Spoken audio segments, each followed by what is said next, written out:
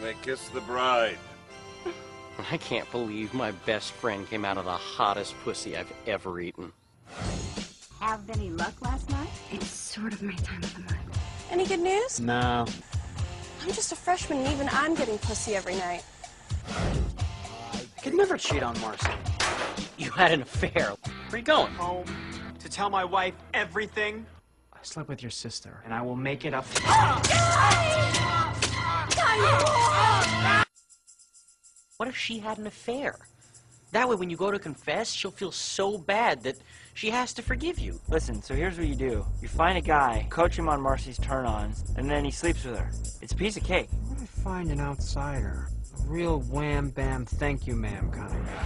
That actor guy, Mac McKenzie. I need you to sleep with my wife. Is She hot? Tiny just rules. Are you avoiding me? I'm uh really tired. I had a long day with God, I love those goddamn floppy balls! Wow. I love Dolph Lundgren. And I will rape your spouse.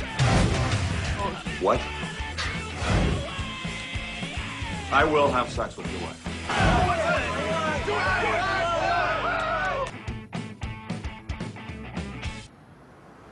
Waterworld the musical. It could actually work.